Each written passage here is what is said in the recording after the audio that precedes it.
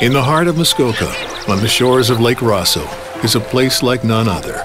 A place where kids can be kids, discovering new possibilities and endless adventures.